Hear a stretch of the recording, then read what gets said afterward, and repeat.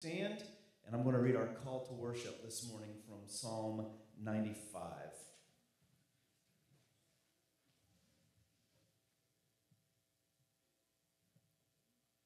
And I'm going to read verses 1 through uh, 6, I believe. Psalm 95, 1 through 6. Is that what I have, Maddie? No. Great. All right. Well, just listen to the word of the Lord then. Psalm 95, 1 through 6. Oh, come, let us sing to the Lord.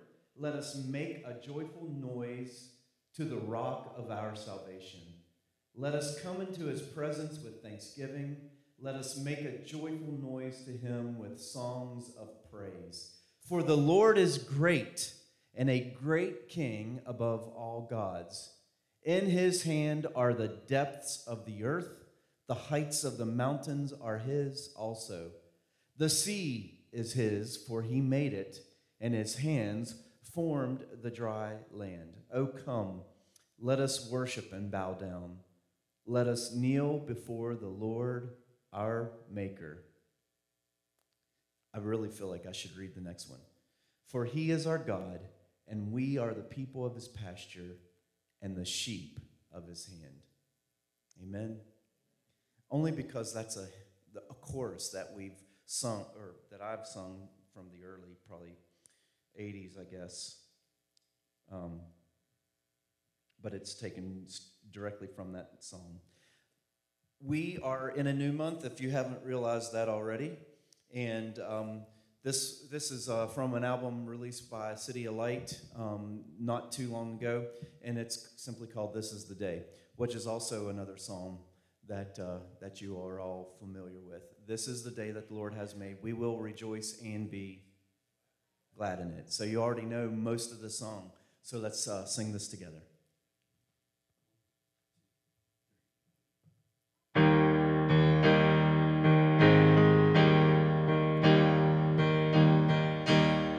Join with us as you become familiar with it. It goes like this This is the day that the Lord has made.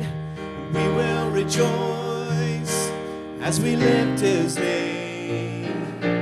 This is the day that the Lord has made. Come and rejoice. We will rejoice and be glad in it.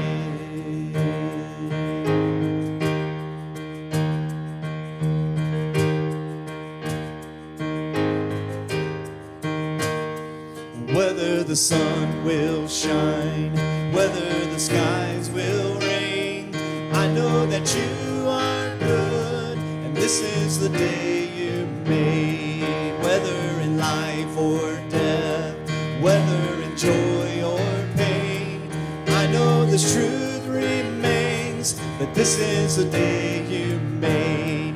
This is the day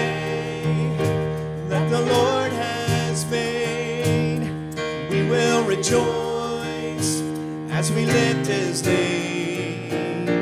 This is the day that the Lord has made. Come and rejoice. We will rejoice and be glad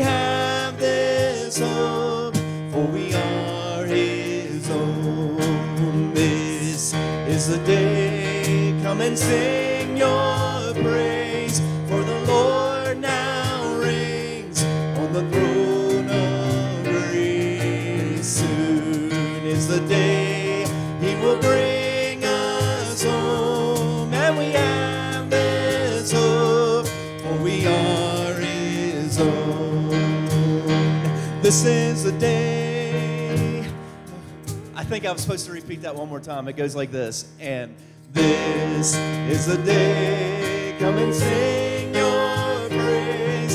For the Lord now reigns on the throne of grace. Soon is the day he will sing, bring us home. And we have this hope. For we are, this is the day. This is the day that the Lord has made. We will rejoice as we lift his name. This is the day that the Lord has made. Come and rejoice. We will rejoice and be glad in it. This is the day that the Lord has made. We will rejoice This is the day that the Lord has made. Come and rejoice. We will rejoice and be glad in it. Come and rejoice. We will rejoice and be glad in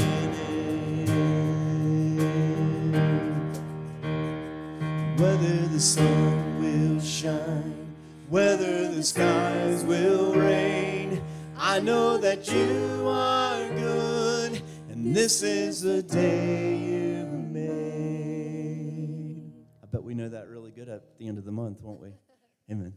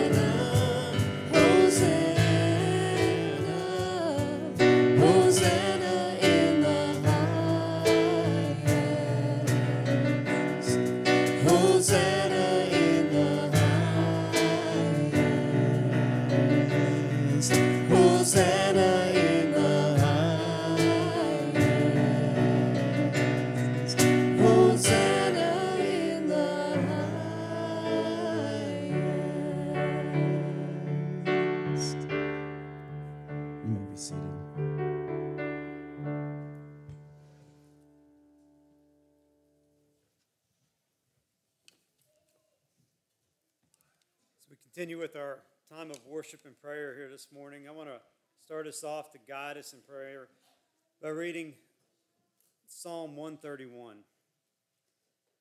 It says, O Lord, my heart is not lifted up, my eyes are not raised too high. I do not occupy myself with things too great and too marvelous for me, but I have calmed and quieted my soul like a weaned child with its mother. Like a weaned child is my soul within me. O Israel, hope in the Lord from this time forth and forevermore. Sometimes it's hard to quiet our souls and it's hard to lift our hearts up. But nonetheless, when we have the hope of Christ and the hope of the Lord, we have that opportunity to do that. So let's let's pray together. Father, how overwhelming at times this world can seem us.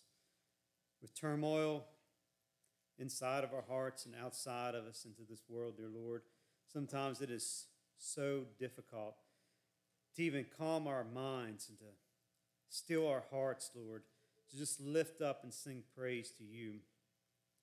Father, whenever there is brokenness that is around us, it is hard for us to even feel whole even when we are in your presence. But yet, in your presence, Lord, we know that we are made whole. And we give you praise for that, Lord. Father, we know that there are so many things that are going on in this body of believers right here. And as we gather here this morning to just worship you and to hear your word taught and proclaimed, as we learn today about the importance of the gathering of the church, Father, and how we come together to worship you and we see, Lord, that through that body of believers that we carry burdens for one another. We are there to lift up those who are weak. And when we are weak, we are lifted up by those who are strong, Father. And we just are thankful for the way that you make this work all together. And right now, dear Lord, I just think as my heart is heavy, as I just sit here and pray for Sherry and Josh Frick, dear Lord. And Lord, our heart is heavy because of what Sherry is going through. But yet, Lord, we can see her life and the testimony that she has been to us over these last several years and these last few months, Lord. And we get to see your glory shine in her life all the more. And that is something, Father, that as hard as it is to see, it is something that we will get to hold on to for the rest of our lives as we think about your mercy and your grace being poured out through one who loves you and seeks you and wanted you glorified above everything else that she goes through, Father. We get to see the hope in the midst of death, Father, as we see just the way that she has carried herself. And man, Lord, I am thankful for that. And I'm thankful to see the faithfulness of Josh and just his love for you and the steadfastness, Father, and the love that He has for Sherry, and the willingness to walk through this with her. And I know they both need your strength right now, dear Lord, and they both need our encouragement. They both need our love, Father. And I just pray that they can feel that right now, Lord. I pray that they feel the love we have for them as a church, as a body that has gathered with them for so long. I pray, Father, that they can rejoice in knowing that you are the one that is sustaining them through this time, and that you are the one that is prompting us to pray, Father, for them. And Lord, I just pray that you will just allow your love to be magnified through that. I'm going to pray the same, Father, right now for Bill Harvey and his family. As they got a road ahead of them that is uncharted, Lord, and I just pray that you can give them peace. Be with Bill as he goes to these doctor's appointments. And Father, we see the feebleness of, of our humanity right now and displayed as everything is so far out of our control, Lord. And he's probably experiencing that right now. So is his family. But Lord, it's not out of your control. And I pray that for Brenda and Andrew and Billy and their families, dear Lord, that they will just be able to just cling to you in this moment and just still their hearts, Father. I pray that their, their soul will be quieted as they go through this time, and that you will give them peace and, and magnif- be magnified all the more. Lord, I, I think about our brothers and sisters right now in Pakistan, where it's just been devastated by flooding in the last month, Father, and they're starting a rebuilding process. And Lord, just the, the Pakistani people, by far and large, do not know you. And we have brothers and sisters who've risked it all to be in that country, Lord, risked life and death. And right now, Lord, is their time to shine with your hope and be bright with the light, Father, when a time when people are receptive to wanting to know what hope they can have because they can't earn it, Lord. It's only by your grace. So I pray that you will give them opportunities. And I pray that it'll be without persecution at this time, that they can see that the love of those who love you is showering down upon them, Father. And I pray that it'll cause them to ask the questions of what the hope is that they have in them after seeing the devastation take place. And when they answer it, they can answer it with a sounding the hope that I have is within Jesus Christ, who died for every man and woman and child's sins in this world, Father, and that they will turn to them and surrender their lives to you.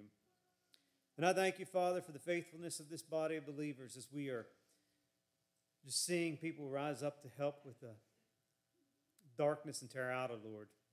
And we start to see fruits there. As we start to see people asking questions, Lord, and just wanting to, to know if you're worth it, Father. And we see them coming back, even though some of them don't even have a clue, Father, what it means to worship you or what it means to follow you we are thankful for the faithfulness of those that are going. And I, Father, I see just the desire within Ryan and Rachel and Colten and Jenny's, Father, hearts, and Jeremy and Tina's and Timmy's, Lord, to just pour out their lives into these into this community, Father. And man, I'm thankful for that. What an encouragement it is to see that and see the time that it is taken to diligently disciple one another over there, Father. Man, it's just a beautiful picture, Father, of what your church is supposed to do. As we gather here as a body of believers, Father, don't let us be deceived that we want everybody to stay here. We want them to go out, Father. As hard as it may be, we want them to go out to plant. We want them to go out to share, to proclaim your word, Father. And if that leads to churches being planted in neighboring counties all around us so that people can get to it who have no lost, no way of transportation, who are lost, have no hope, Father, then so be it. Let this church be the sending church that carries out the mission that you've called us all to do, sacrificially loving those around us, Father. And I just pray for Colten right now, Father, as he comes, my dear brother, to just proclaim your word. I pray that you quiet his soul, lift up his heart, Father. Silence anything that he is going to say, Father, maybe that he is questioning, but lift up your spirit to where he can boldly proclaim it if he is supposed to, Lord. I pray that it is you that we hear and just fill this place and this church with your spirit now. In Jesus' name we pray. Amen.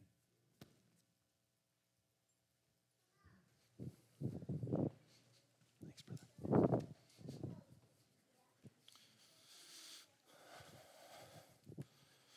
Good morning, church.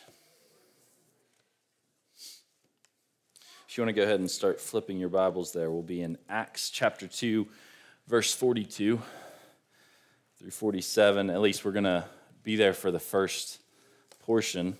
um, of the message, and then we're going to hop over to Hebrews for a little bit.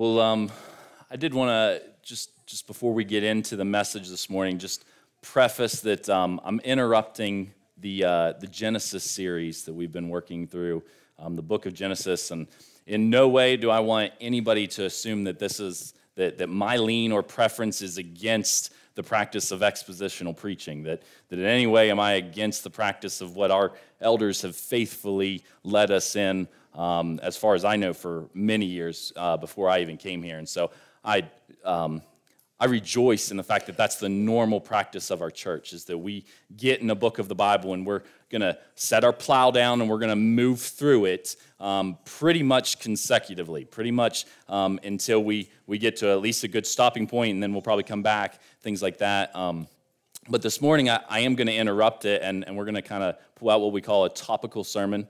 Um, and and I'll, I'll be honest, one of the reasons that I asked the pastors if, if, if I could do that instead of continuing in Genesis is because I'll be honest, narrative, the, the, the, the idea of the Bible telling story and preaching from that, it intimidates me. I'll just be upfront to, to whenever I knew we were in Genesis, to me, uh, taking what the, the, the narrative and the storyline, that, that's what Genesis is, the Gospels are a narrative, and then faithfully standing up and laboring what was the author's intention of these passages, that is a hard work. And I'm just grateful for the, the labor that all of our, our pastors have, have done in that work. And, and I kind of took the easy way out. And I said, hey, can I, do you guys mind if I do a topical? There's something burning on my heart that I'd really like to do.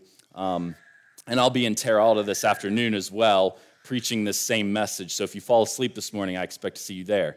Um, but but it was it was a burning kind of out of that that burden of of what we're doing this this early church plant roots being set that man I just thought I really want to get this message out I really want to I want and I even even for my own soul I want to solidify us in is this thing we do on a weekly basis is it biblical what kind of conviction should you feel when you miss a Sunday gathering or a Saturday gathering? I'm not, I'm not going to even talk about whether the church should gather on Sunday or Saturday or Wednesday or whatever. I'm, I'm kind of hands off on that. I don't, I'm not feel a strong pull that the text kind of tells us it has to be a certain day of the week.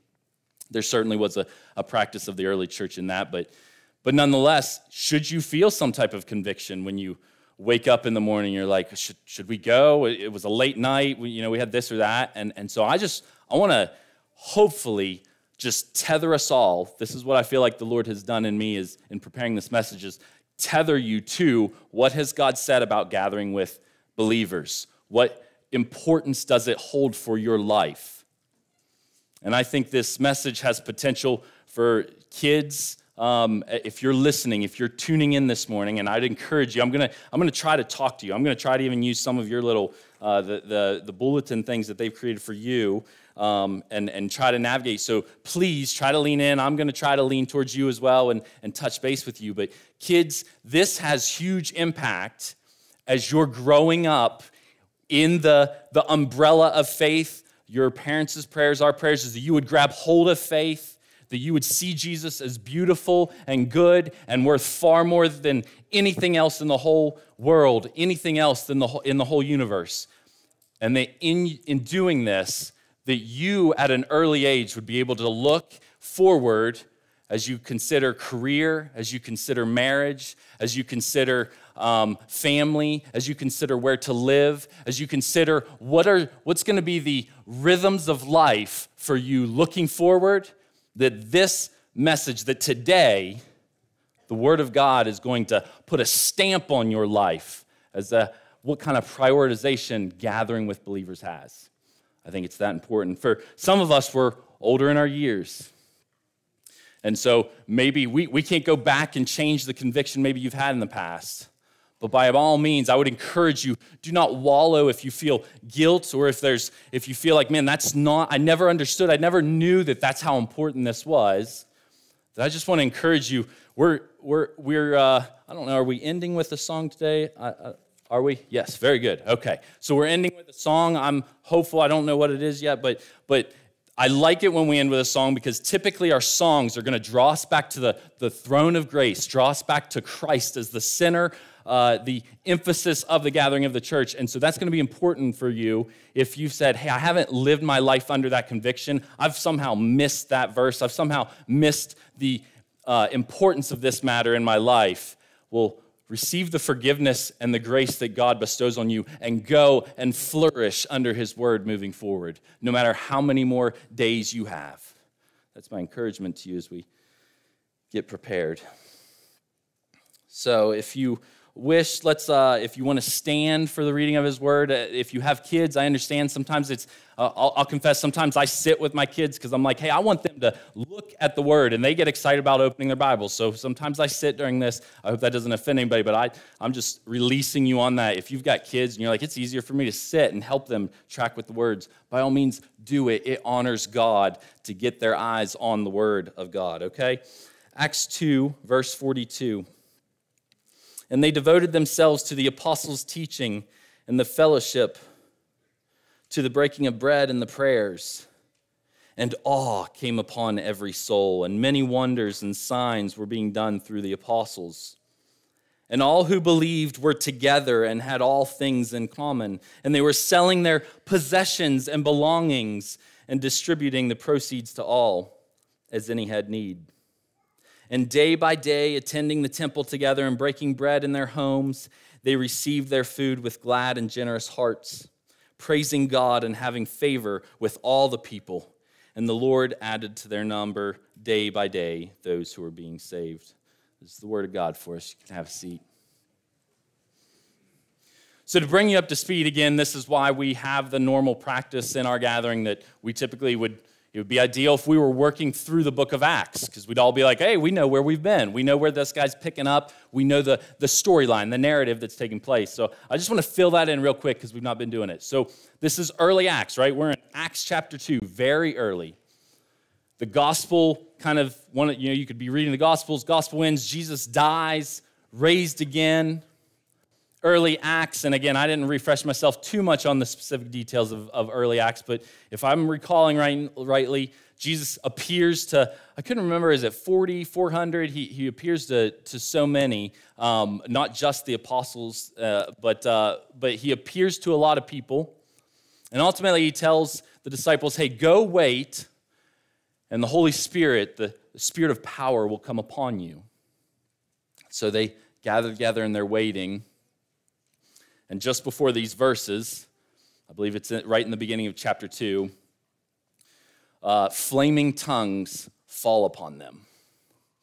And they begin to, the apostles are gathered, and they begin to speak in the languages of people, in, in people's languages of who else gathered. This is Pentecost, so there's a large gathering already in the town, and, and people hear them. And I, I don't know exactly what happens if they go outside or if they just hear them, but, but anyways, they're, they're speaking the gospel and all these people from different places are understanding them in their own language. And so they begin to, the, the, the uh, Luke tells us in Acts that these people hearing them begin to say, Are they, what's going on here? Do you hear them in your language? Do you, I hear them in my language. How is this happening? How are they speaking our languages? And some are like, they're drunk. They're somehow just getting it right, luckily.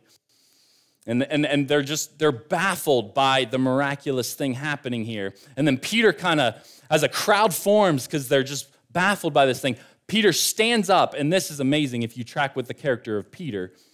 Peter goes from this guy, and I don't want to be too harsh on him because I'd probably just be in the same boat if I was if I was there with Jesus, but goes from denying Jesus, afraid of little girls, and, and if, you if you remember that in the Gospels, he's denying Jesus to little girls. She's like, he was with them. No, I'm not. And this is Peter. And all of a sudden, the flaming tongues, the Spirit falls on him, and Peter stands up and he gets everybody's attention.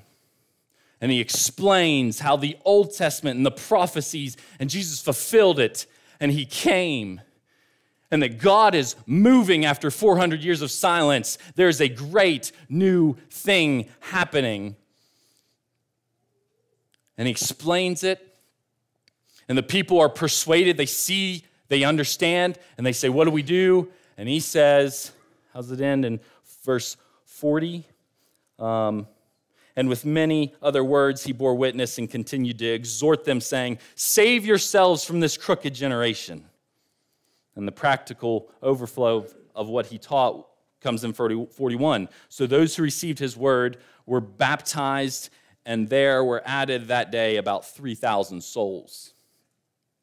So this is this is really exciting because I think one of the, the questions that maybe has not ever been answered in your, in your mind is like, okay, I've, I've come to believe, now what? I, I do. I believe that Jesus died for my sins. I believe that he's reigning on high. I believe that he was the Son of God, that he is God.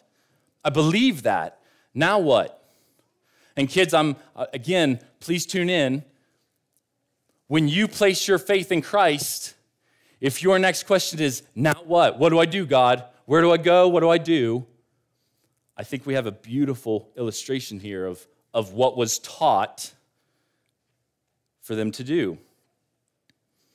And it starts in verse 42. So if you're looking at your outlines, I, meant to point this out earlier. I'm, I switched things around. Diane was extremely gracious with me, as she always is, and asked for an outline. And I got her the outline, and then I was like, hey, change this actually uh, on that same day. And then about two days later, I didn't bother letting her know, but I was like, ah, I'm going to change things again after I kind of solidified it. So if you're following the outline, we're actually going to start in uh, point number three. So under why do we gather, we've kind of got three main points, really just two, but but uh, point number three, what is the matter of our gathering? So this title, I intentionally wanted someone ambiguous.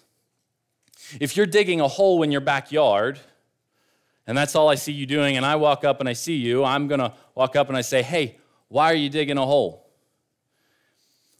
And you're gonna tell me that the purpose for which you're digging that hole. You're gonna say, Well, unfortunately, the dog died last night, or the cat died, and we're burying under the tree, and, and here's what's going on. And, and so you've told me the subject matter of why you're burying the hole. But I also Maybe I'm walking by and I see you in your backyard and you're digging a hole with a shovel, but I see there is a perfectly good backhoe sitting behind you. And I might walk in and I say, Hey, why are you digging the hole? Meaning, why aren't you using the backhoe? And there you're not necessarily telling me, I'm not asking about the purpose of your hole digging. I'm asking, why are you doing it? What's the motivation for you doing it? And then you might tell me, well, unfortunately, I had a hose break and it won't be in for a while. I got to get this hole dug and, and so forth. So the, the why question has kind of two ways that it can be interpreted, and I int- intentionally wanted to phrase the title of this sermon because I want to answer both. Why do we, gather? Why do we gather? So, what is the matter? What is the composition of our gathering together? What is what does the Bible give us any indication of what you and I should do when we gather together? And so I want to tackle that first. After the, I'll, I'll, I'll speak briefly on the who should gather, so it's kind of second. And then we'll jump to point number two. What is the motivation for our gathering? Why do we gather? What, what's, what's compelling us? Okay, that was all introductory matter that I should have covered a little bit earlier. So point number three, and that's where we're in Acts 2.42. They devoted themselves, kids, here's your fill-ins, to the apostles' teaching and the fellowship, to the breaking of bread and the prayers.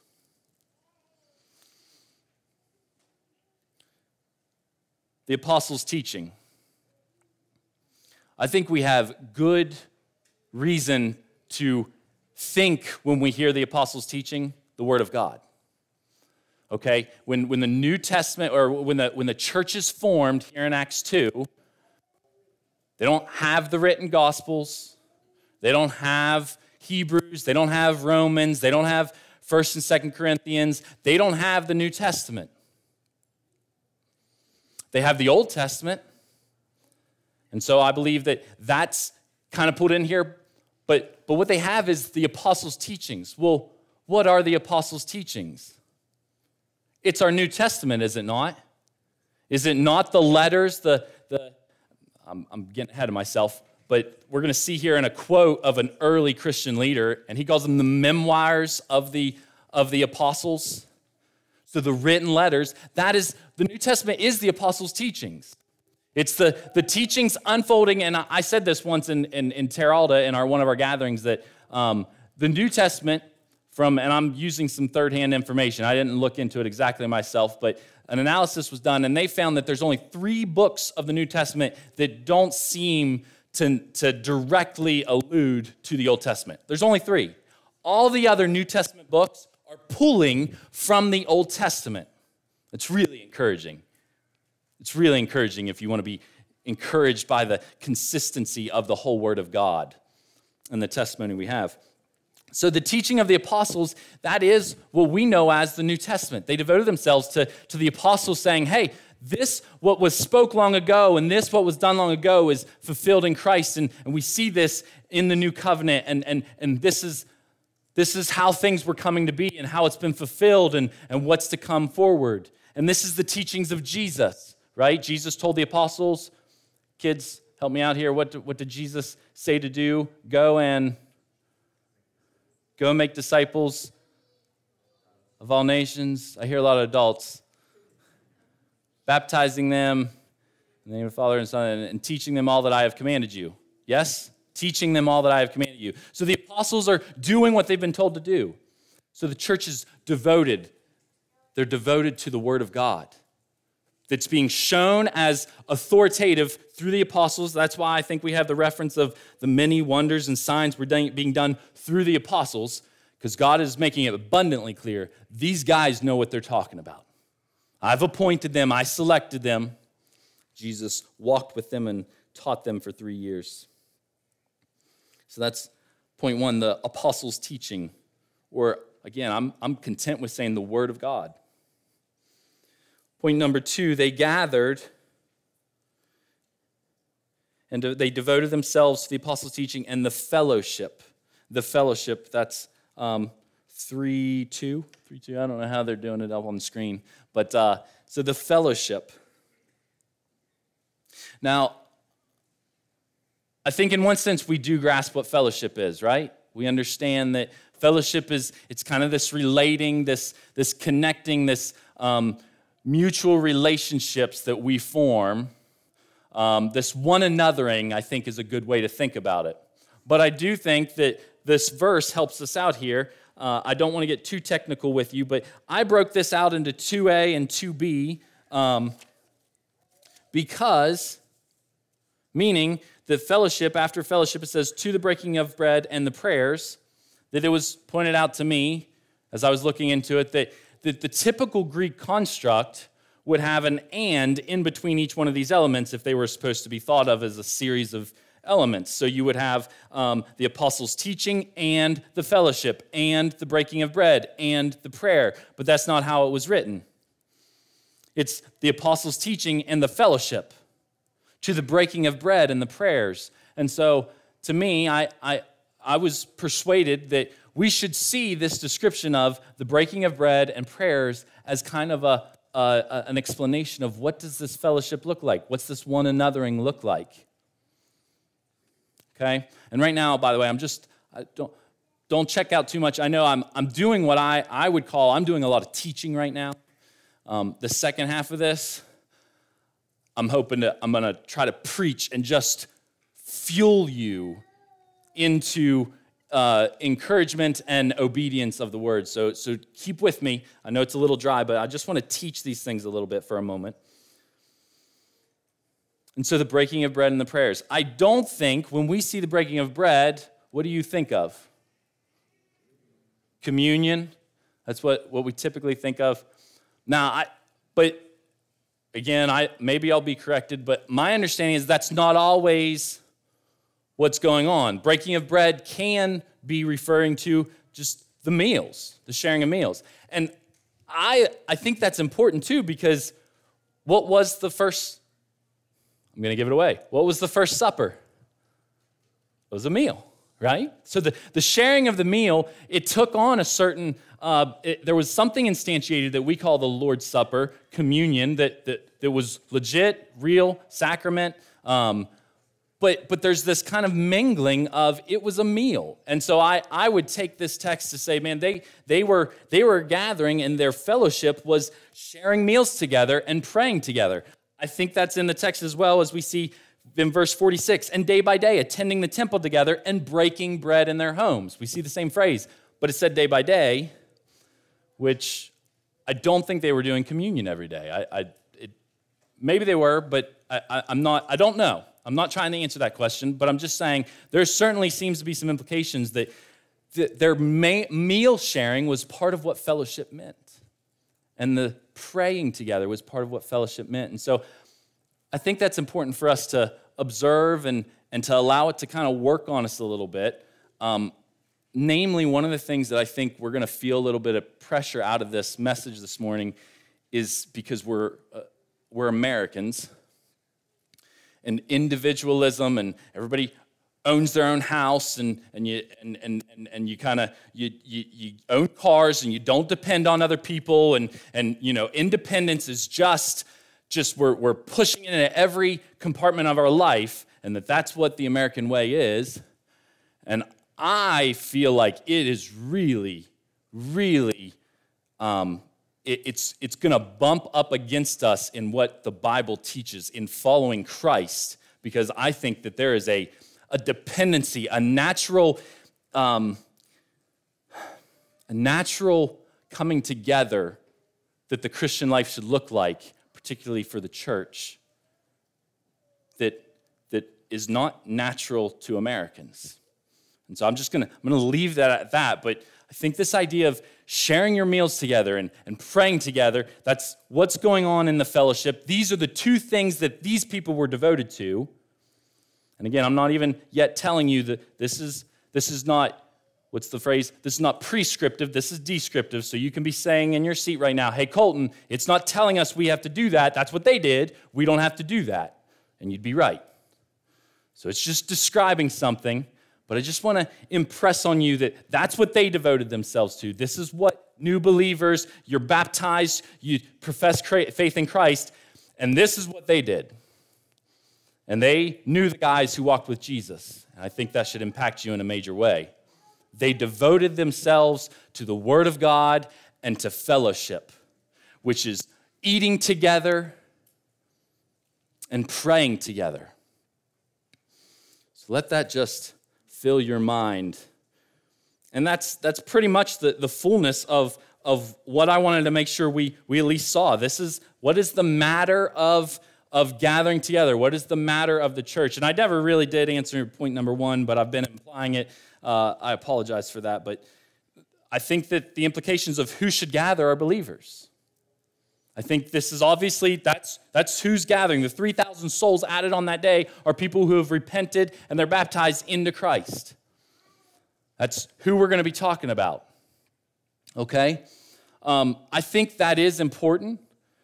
I'm, I'm well aware. Uh, I've had some personal relationships with some churches that uh, that is not that is not the center focus of, of what they think about for the gatherings. And I'm not going to critique, but I am going to just tell you if you move from here and you leave this church and you go looking at church, I do want to put on your forefront this is not in all agreement across the United States. There are churches that say, well, we host our gathering for what, what they would say is we, we want to hit both unbelievers and believers. And we're, gonna, we're focusing, we're preparing our entire service, um, if you will, the entire, the songs they sing, the prayers they pray, the language they use, the sermon, the Bible topics, uh, the passages. They are intentionally crafting those because they have in mind this morning we're going to have believers and unbelievers, and we just we, we want to take advantage of that. And again, I'm not I'm not critiquing on that. I, I've got my own opinions on it, but I just want to put that before you that let's look at what the Bible kind of sets an example of, and, and I'd encourage you to, to go with that, that that should be molding you in how you think about what is gathering with the church, what, what should it look like, what's the thrust of it. Now, I don't want to totally deny Paul in uh, 1 Corinthians or 2 Corinthians, one of these wide older, when he refers that there may be uh, unbelievers enter in during prophecy. Any elders recalling? It's one of those. Um, but he refers to an unbeliever will enter the space of the worship gathering, and a certain thing by God's grace will happen. Okay? So I'm not denying that unbelievers are probably going to be sitting in our midst. And God will use what our gathering uh, of focusing on His Word and on our fellowship, He will use that to speak to them um, in a, in a God glorifying way, okay? But, uh, but I think it, again, just setting our bounds here, devoted themselves to the apostles' teaching, the Word of God, and to the fellowship, the breaking of bread, and prayers. Okay. So let's go up to point number two. Um, what is the motivation for our gathering? Oh, I did want to, kids, if you're working on this thing right here, um, I think Diane threw you a curveball because uh, the, the, this bottom one, the early church devoted themselves to what? And I was like, okay, teaching, yes. Prayer, yes. Uh, probably not volleyball, but uh, not sleeping. Fellowship, yes. And then snacks. And I was like, mm, I, you know. So I'll, I'll, leave it to you if you want to circle that one. But I'm like, man, breaking bread, the sharing of meals. Like, I, I'm probably circling snacks. I'm just saying. Like, I think they, they shared, they devoted themselves to sharing this together. But uh, parents or elders, you can, you can give better direction on that if you want. What is the motivation for our gathering? If you want to flip your Bibles to Hebrews chapter 10, verse 19 through 25.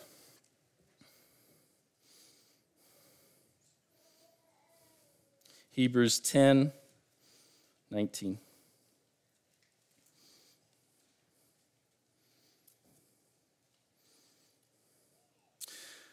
Fill in the blank number one under this section. What is the motivation for our gathering? This is the command. This is the command. Verse 19, Hebrews chapter 10, chapter 10, verse 19. Therefore, brothers, my brief, he's going to kind of give his own conclusion of the therefore. But this is Hebrews, and, and the Hebrews author has labored to, to make it clear how Christ has entered the Holy of Holies. He is the great priest. He has sacrificed the sacrifice.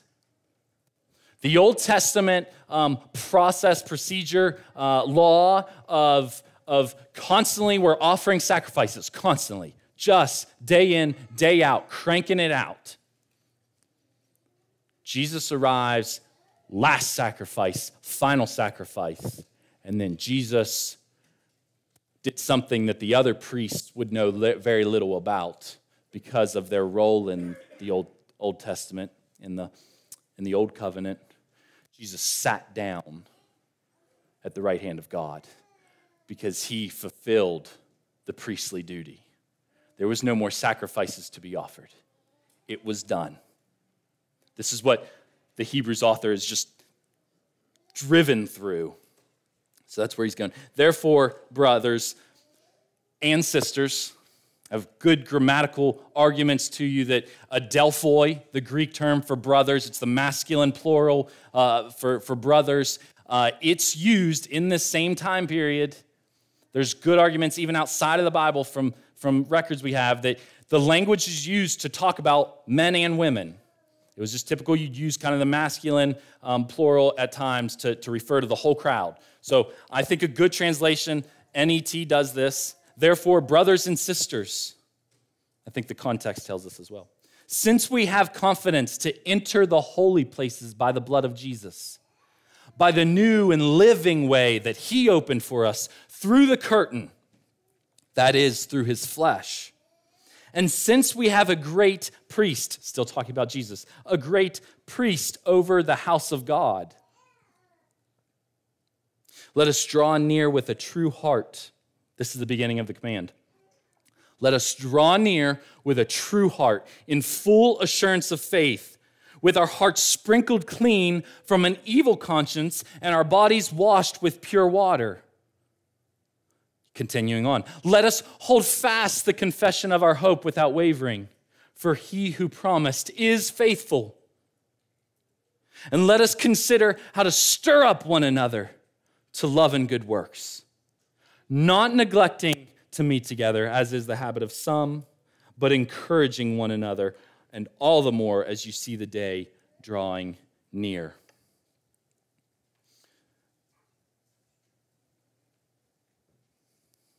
This is the closest thing I would argue we have to a command. To a command for us to do not live your life as a siloed Christian.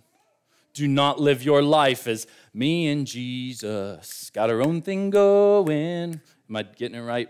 You know that one? No? I had an uncle that we sang that a couple times in front of some nursing homes and stuff, and I was like, over time, I thought, this is not good. we should not sing this. Uh, did it sound good? Great. Okay. So we would sing that, and, and just over time, the Lord kind of worked on me. Don't look it up. Don't like. Don't don't sing that, and definitely don't live it. It's not you and Jesus got your own thing going. Jesus has got his own thing going, and he's bringing you in along with look around all the people around you. This is the closest thing. So if maybe you're feeling a little relief, like, great, that's not a command to be there on Sunday. Um, just keep listening.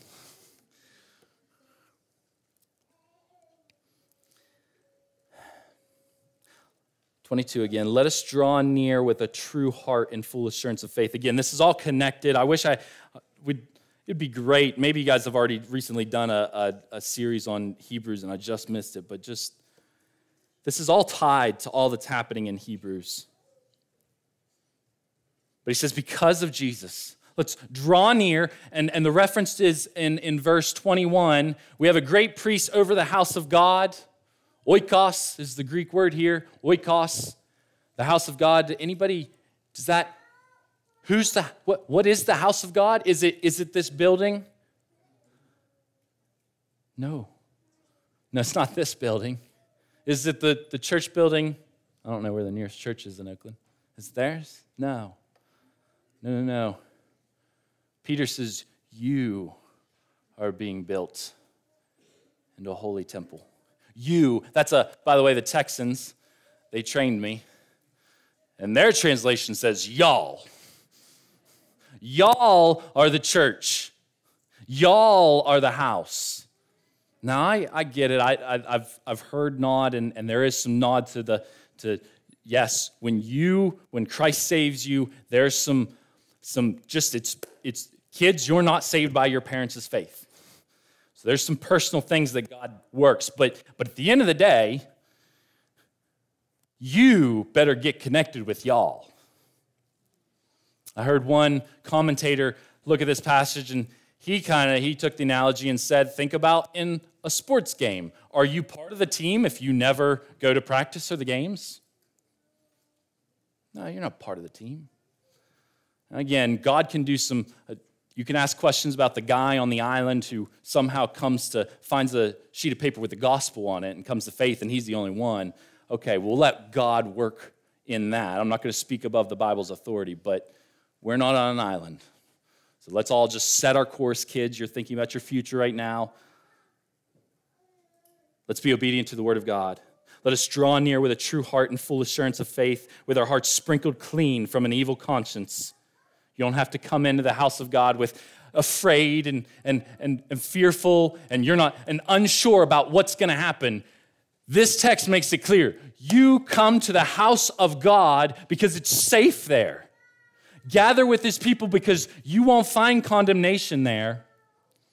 I think I've shared before, Piper used to use the analogy, or I've heard him use the analogy of, yeah, you want to teach kids, do you know what the fear of the Lord looks like? Do you want a good picture of this? It's, it's the big angry dogs that like to chase after and they'll bite if you run away from them. But if you come towards them, that doesn't provoke in them a bite. I'm not, some dogs maybe it does, but there, there is a big angry dog out there that this, this happens. And so he, he tells a story. I'm not gonna, I'm not gonna retell it, but, but that's the image is that if you wake up and you're like, I've sinned against God, church, run to him. Run to his people. Don't run to the closet. Don't run and hide. Don't fear. He's kind. He's a high priest. He knows.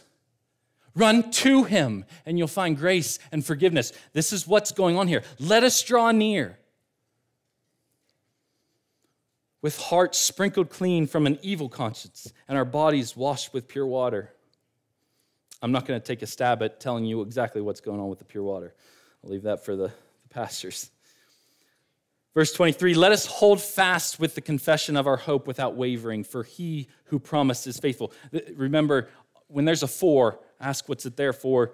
So he tells you, hold fast the confession of your hope. Don't waver. Don't be afraid. Why? Because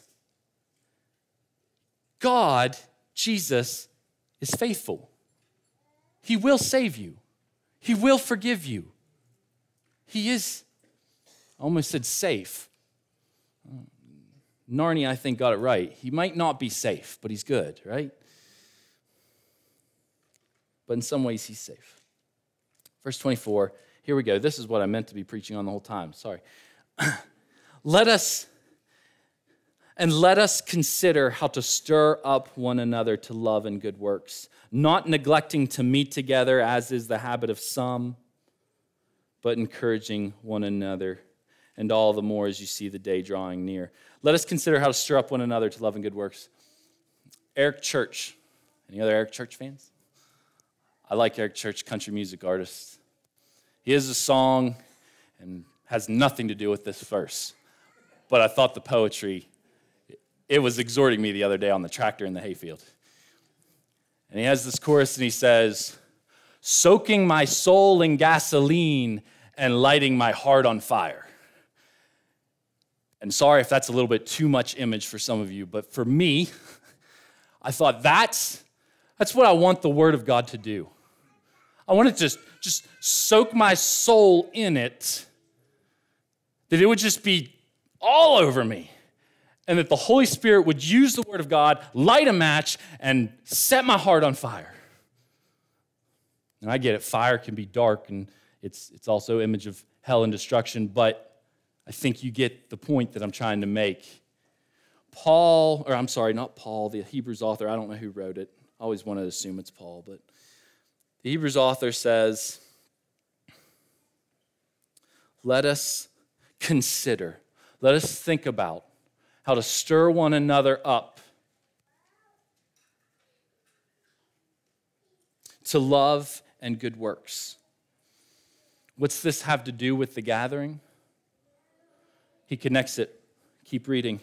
What's the contrast of this? Not neglecting to meet together, as is the habit of some. Do you see this? He has two paths in mind for your life, Christians. There is, it's not meet together or don't meet together. That's not what he says, is it? He says the assumption is you're going to meet together or you're not. And the assumption is, is if you are going to meet together, do so for this reason that you have been thinking about, that you have been meditating on, that you have prepared your mind and your heart for how you're going to get beside of your brother and your sister in Christ the next time you see them and, and encourage them and provoke them and, and move them and speak words of life into them so that they may go and do love and good works, that they may leave the gathering and that they may, the world may see those people are light and not darkness. Those people are love and not hate. Those people are marked by something divine. This is an assumption, not that you'll gather. This is, I mean, the assumption is that you'll gather, but the command is if you're going to gather, do what you're supposed to do. Think about before you even get there how are you going to move your fellow brothers and sisters to love and good works? Back there, church, how are you going to pour gasoline so that they may go fueled up, fired up, and loving and doing good works.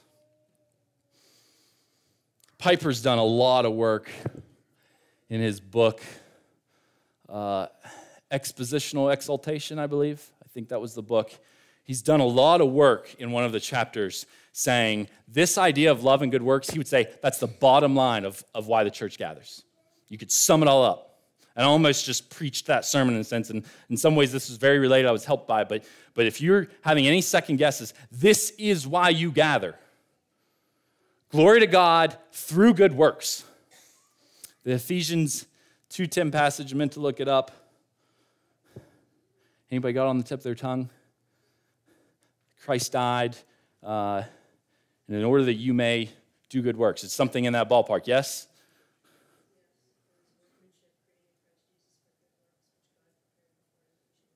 Yes, yes, we are his workmanship, prepared in Christ Jesus for good works. Uh, that we should walk in them, something in that. Yes, thank you. And, and, and so this is this is the overflow, the, the outworking of your life, believer, from the moment you accept faith, from the moment you take faith, from the moment that you put your faith in Christ. After that, you wanna, you wanna create out your schedule for the rest of your life? Just write good works on every month. But Hebrews here is trying to help you in that. And you doing what you were meant to do is supposed to be, is God says it's gonna, it's gonna happen because of what your brothers, the people, go ahead. Take a look at the people side of you, look behind you. Go ahead. Do it. These people that we gather and we sing with, and we sit under the Word of God with. Have you thought about this past week how you're going to stir them up to love and good works? Well, I did this past week because I knew it was coming. I beseech you, the Word of God beseeches you. Don't just check off a box you're gathering with the church. Do what you're supposed to be doing. Think about your brothers and sisters. Have fellowship with them in order that you can pray with them, have meals with them, and in order that you know their lives in such a way. Right now, it's very intimate with Josh and Sherry Frick. We all know a lot about them. But I can assure you, there's a thousand troubles in this room right now in our hearts. And if the people beside of you, if, if believers don't know your troubles, and if you're not getting to know the troubles of the people beside of you, if you're not leaning in, if you're not inviting them for meals, if you're not diving in with them, you won't know how to encourage them to love and good works. You won't know how sin's creeping at the door. Let's, let's keep moving. I want to, originally, I wanted to go back to Acts, but for time's sake, I, I, I want to go ahead and go down to Hebrews 3. The, the second box for motivation for our gathering, Acts 2.42, is the example. And again, we already looked at that text. And really, what I just wanted to put before you is, is when you read that text, and they had all things in common. And I, I was going to comment that it says, they were, it says they were selling possessions and their belongings. You, some translations say their property. They were selling properties. There's, there's some evidence that that same Greek term can be translated property and, and it's kind of pre- precluding. We know that that does happen because if you get further in Acts, um, you get this couple. Is it, is it Ananias? I thought so. Okay, very good. Um, you get this couple that show up and they say, "Oh, we sold property. Here's the here's funds. We're we're with the community." And Peter is informed by God they're lying. They have a whole lot more. They sold that, but for a whole lot more than what they're saying they did and judgment falls on this couple. And so, anyways, this, this idea that I just wanted to emphasize that let, let that passage blow you away. Like, I, I, think, I think it, it does me. The idea that people would sell houses or land and, and let me sell my Xbox and we'll have a turkey dinner tonight. Like, I just, I think that's beautiful. I just think it's so lovely. Sometimes I get a little bit excited. And by the way, this sermon is, I'll confess, it's a hobby horse for me. Like for years, this kind of this the talk of the local church. In seminary, it was actually really interesting. I was part of a small group at my seminary, and I remember we were talking about the local church. And and most of the guys that I my, my peers at the seminary were like, man, I just they just had story after story of being burned by the local church, or even not just burned, but just the just kind of the deadness of how they felt about the local church and the difficulty of it. And and just the Lord has just that's not the view that I've had. That for me, the local church is just so beautiful. And no, she's not there yet. She's not there yet. But in the same way that I'm going way down a rabbit, rabbit trail right now, but, but in the same way that Tim Keller writes his book, The Meaning of Marriage, and he talks about you don't marry a person because they just are, they're that beautiful statue as they are. He says you marry them because you know there is a sculptor working on their life. And you know, you can see what that thing's gonna look like when it's all over. And you're like, I want in.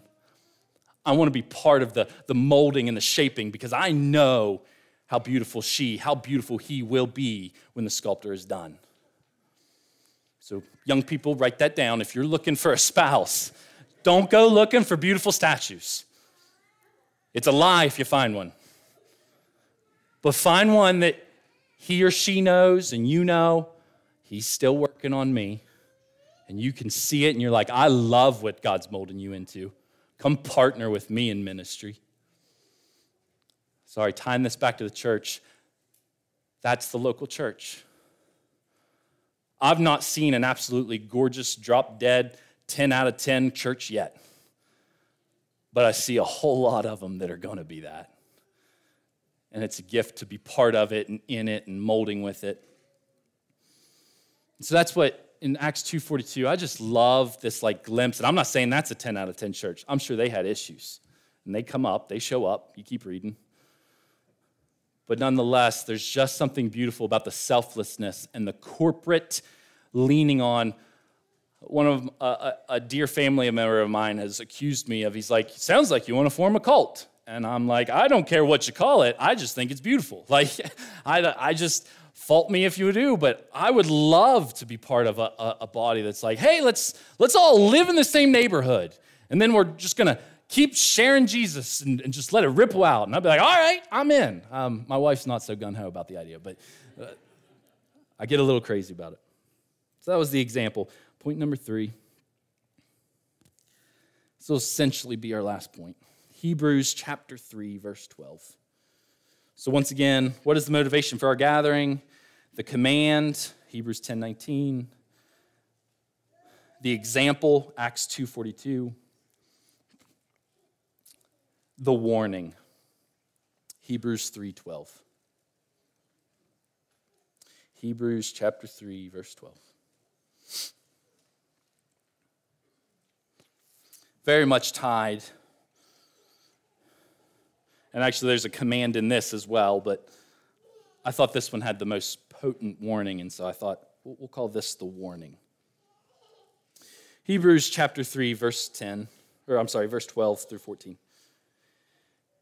Take care, Adelphoi, brothers and sisters. It's not always brothers and sisters, but I think it is here again. Take care, brothers and sisters, lest there be in any of you an evil, unbelieving heart leading you to fall away from the living God. But exhort one another every day, as long as it is called today, that none of you may be hardened by the deceitfulness of sin. For we have come to share in Christ if indeed we hold our original confidence firm to the end. Verse 12 and 13. 13 starts with a but. Just to do a teach real quick.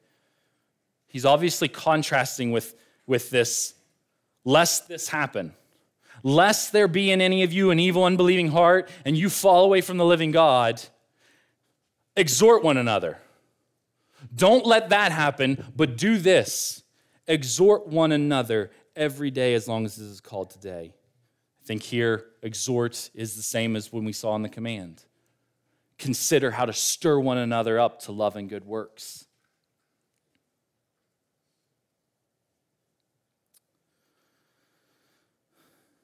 The connection here is sobering. I think in many ways, most of us have lived our lives and maybe not even wanting to. Maybe it's just, this is, I'm just telling you, I feel like this is the culture of Christianity in what I've experienced for the most part in the United States. That the culture is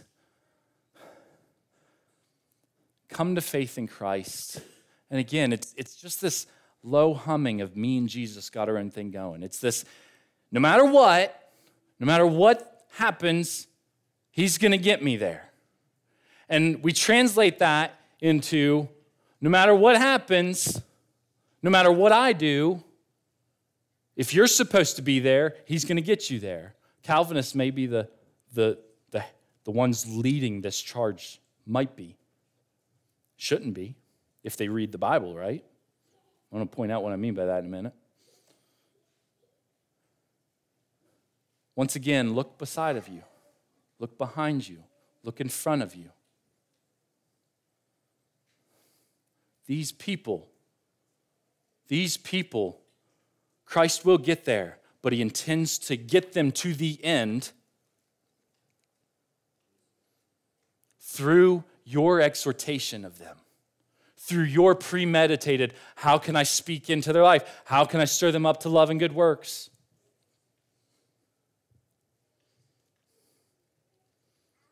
Your exhorting of them, verse 13,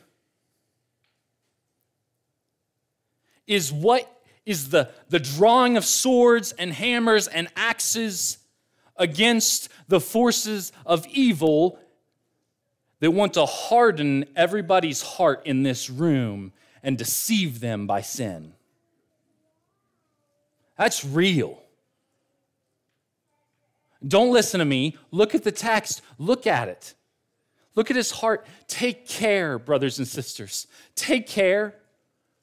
Open your eyes, look at one another, see, see the fragility, vulnerability of your brothers and sisters. And do this lest there be in one of them or in you this evil, unbelieving heart. Don't assume that non Christians are just easy to see okay? Don't assume an unbelieving heart is just easy to see. This text makes it clear you've got to take care. You've got to lean in. You've got to know and get to know their souls, and you got to get to know them, and you got to be part of their life. They may be off living some unknown sin their whole life. We've heard some recent stories about that happening, haven't we?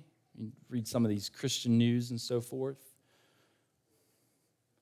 that there's these, these people live these lives and all of a sudden they die or something happens and things come out that it's like, goodness gracious.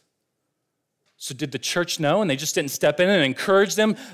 Love, do good works, hate the works of the devil, hate the darkness. Maybe these guys had that life because they never, nobody had them over for the meals. Nobody said, Let me do life with you. Let me walk with you. Let me know you. Let me take care of you. So that if I see dark deeds, I can spur you on to love and good works and exhort you. Verse 13 Exhort one another every day as long as it is called today, so that you may not be hardened by the deceitfulness of sin.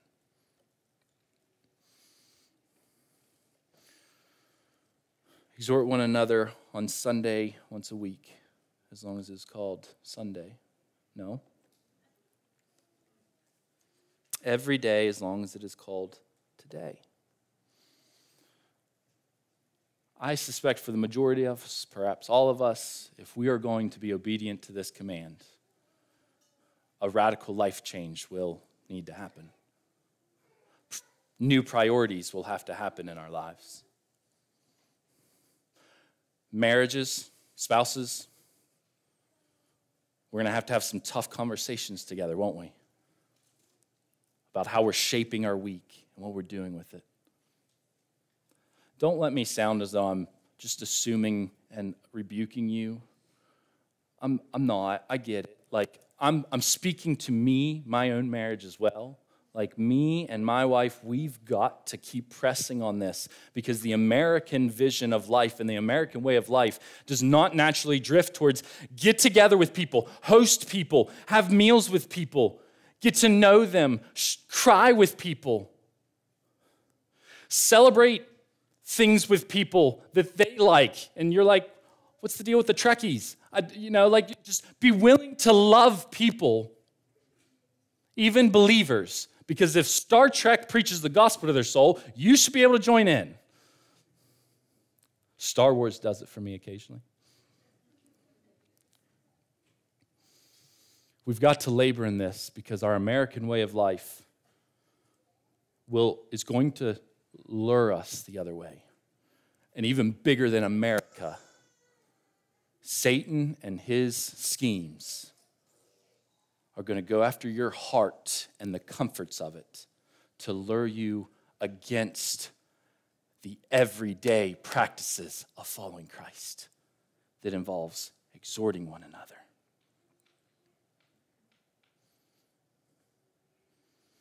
I said I'd my comment about the Calvinists kind of I think is addressed in verse 14. It's like he knows that somebody listening is going to say, "Wait, wait, wait, wait, wait, wait. I won't have an evil unbelieving heart if I'm in if I've been given to Jesus. He says not a single one will be plucked from his hand. They all will make it. Don't you tell me that I need to gather with the church. Don't you tell me that I need other unbelievers. Don't you tell me that my salvation somehow is affected by whether my brother or my sister tell me and, and encourage me and speak to me to go and do good works and love people and be generous and, and, and be selfless and lay down your life, be a doormat. Don't tell me that that has any impact on whether I'm saved. The Hebrews author wants to remind you that indeed you are in his hand. You have come to share in Christ. If you hold your original confidence firm to the end. Don't you dare write that off to somebody else other than yourself. That's to you, that's to me. If you hold your confidence to the end,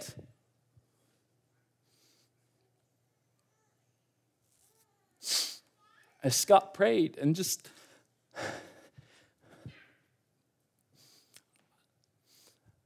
thinking about the life that I've gotten to see in Sherry Frick. I've not known them. I mean, I since we came here and we've gotten to know them, and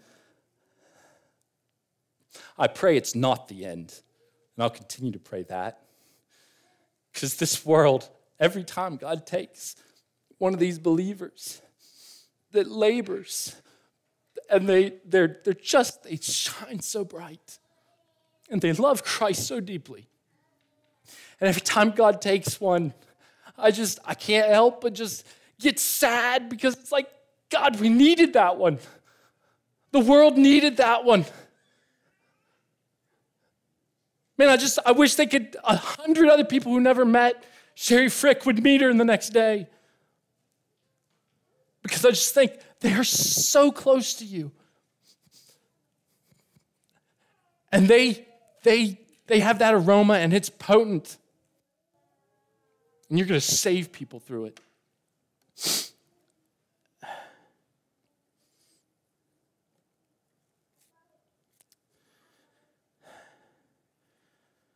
We have to hold to the end.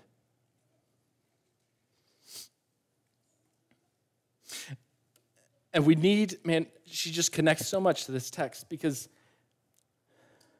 the exhortation that is needed for when I promise I'm wrapping up the exhortation that is needed,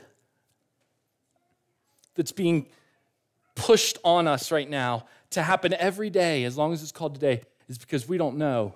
You or I may be stepping into the presence of God before Sherry. It may happen this moment. That's what, that's what he's talking about. As every day, as long as it's called today, you don't know if you have tomorrow. And by God's grace, man, church, let's just let's build one another up every time we gather. And and and this is where I just want to transition, kind of concluding thoughts. The text is not about Sunday. It's not. Is Sunday included? Absolutely. Absolutely, it's included. But this is, is not as long as it's called Sunday. So please don't take the text that way. Don't read it that way. Don't let your brain or your heart believe it's just on Sunday.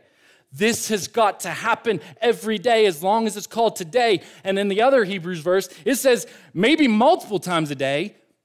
As we see the day of judgment, I didn't get to uh, illuminate that, I meant to. Uh, the day of judgment, the day, as long as we, as we see the day coming, referring to the day of judgment, all you got to do is flip back to that, look at the next verse, and he says, For if we go on sinning deliberately, there no longer remains a sacrifice for sins. It's the day of judgment. So these guys said, You need it every day. You need the exhortation, you need the encouragement of the people beside of you. Yes, your family members. I read this text and I think it's probably supposed to be far beyond just my family members. Me waking up beside of my wife, that's going to help. She's going to be part of it. But I really think I should see another believer today. And I should be considering my brain. How do I encourage them and, and, and remind them follow Jesus, go and be selfless in all that you do? Go be a teacher who's selfless and just pours love upon children. Go be a computer uh, science at your desk guy and, and, and computer scientist, I don't know what they call them. And, and, and, and do that. And when you interact, and as you do in your coding thing, just do it humbly and do it well. That your boss would look at you, that your coworkers would look at you and be like, you just, we have no faults with you, man. What's with you? And you just, Jesus is good. Go back to coding. That'll be enough.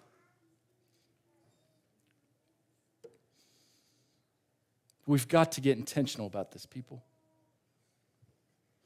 I don't want anybody to have a hardened heart deceived by sin. Deceived by sin. I don't want one in me. I need you. My family needs you. That's what it says. Last comment.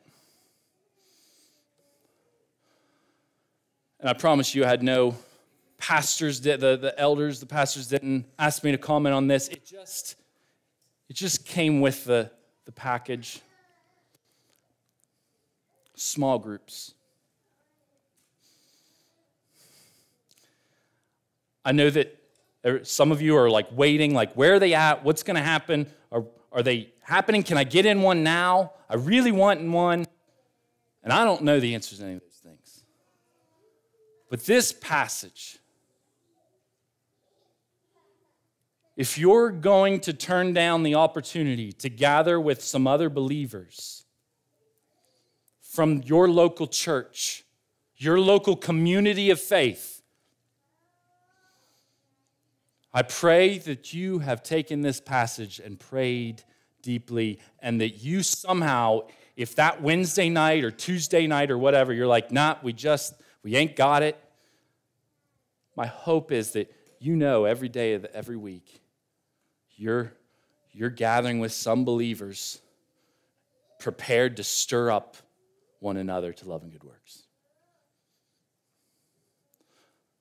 The small groups ministry is not necessarily, it's not something required of all believers. It's not. But the practice that, there that our leadership and many other churches have trying to take on, this, it's kind of a new development in ministry over the past couple decades, or I don't know, maybe it's more than a couple decades, but it seems still kind of fresh, is this hope of like, it's, the, it's, it's witnessing the American culture and the American church. We just drift kind of into silos, come back on Sunday, go back to our silos, come back on Sunday, go back. And they're like, this does not fit the mold of the Christian life. And so, small groups ministry, I think, came out of that burden. And I think it's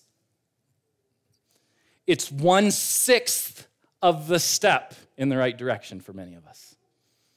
That's pretty small. So if you want a practical baby step,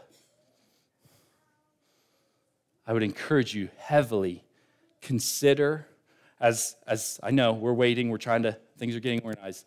And until then, I'd encourage you don't wait until it doesn't have to be organized. Start small groups. I promise you, I don't think any of the elders or pastors are going to be like, whoa, whoa, whoa, whoa, whoa, whoa.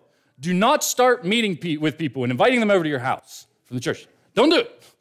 Let us organize and make sure we, we we'll do it for you. I don't think they're going to do that. So, by all means, if you're kind of in waiting, I, I'm giving you keys. Unlock the gates, go. And gather. Gather on Sunday. Gather on Monday and Tuesday and Wednesday and Thursday and Friday and Saturday. And do it with intentionality to stir up one another to love and good works because you need one another. And I need you. So please, church, let's pray.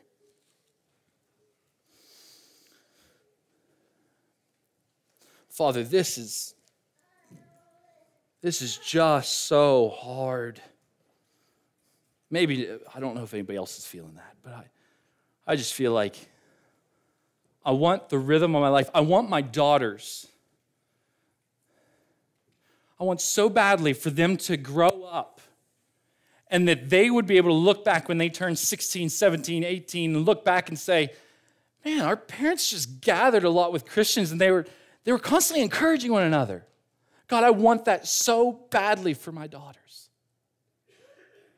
That it would mark their life and they'd be like, that's obviously what Christians do.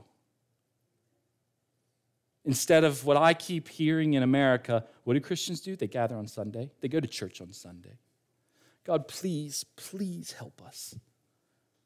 Help us to obey your word, but Lord, by no means, don't let anybody leave here feeling a guilty, terrible conscience that says, that feels as though they've been condemned because that's not their rhythm of life. Your grace is more than enough. Your wisdom is more than sufficient for helping us to navigate and figure out how do we, in a healthy way, obey your command to exhort one another every day. We need you. We pray this in our Savior and our great high priest name, Jesus Christ. Amen. Would you stand with me? Would you stand with us? At the uh, onset of Colten's message, he mentioned as uh, uh, Christ being the center, Christ being the center. And I believe trying to, uh, through the message, direct us to Christ being the center. Well, not only do we have a song, that, that's kind of where that segued into do we have a song here at the end? And not only do we have a song at the end, but we have a song that declares that very message that Christ should be the head of all, his purpose to fulfill. Let's, let's sing that right now.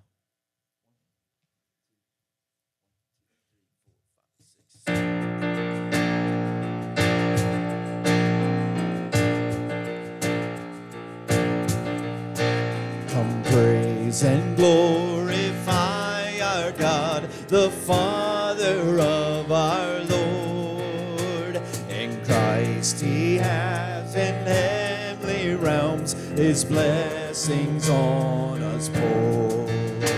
For pure and blameless in his sight, he destined us to be. And now we've been adopted through his Son